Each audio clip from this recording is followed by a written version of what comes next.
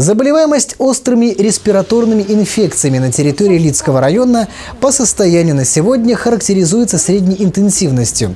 Однако уровень заболеваемости по сравнению с аналогичным периодом прошлого года на 20% выше. Среди заболевших 84% детей до 18 лет. Сезонная заболеваемость острыми респираторными инфекциями обусловлена циркуляцией аденовирусов и респираторно-синцитиальных вирусов – Медицинские работники советуют укреплять и закалять свой организм. Высыпайтесь, соблюдайте режим труда и отдыха и старайтесь как можно больше бывать на свежем воздухе. Чаще проветривайте помещение. Отправляясь на прогулку, на службу, одевайтесь по погоде и старайтесь не переохлаждаться.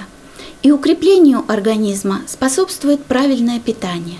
В рацион надо обязательно включать продукты, которые содержат витамины, микроэлементы. Также необходимо обязательно соблюдать правила респираторного этикета. При кашле и чихании используйте одноразовые бумажные салфетки и сразу утилизируйте их после использования. Если же кашляете и чихаете, у вас нет носовой салфетки, то старайтесь это сделать с гиб локтя, а не в ладошку, так как традиционное прикрывание рта ладонью приводит к распространению инфекции через руки и предметы обихода.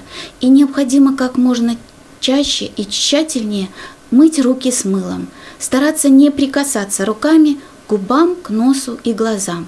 И уж если вы заболели вирусным заболеванием, не переносите его на ногах, так как это может привести в дальнейшем к нежелательным последствиям и осложнениям.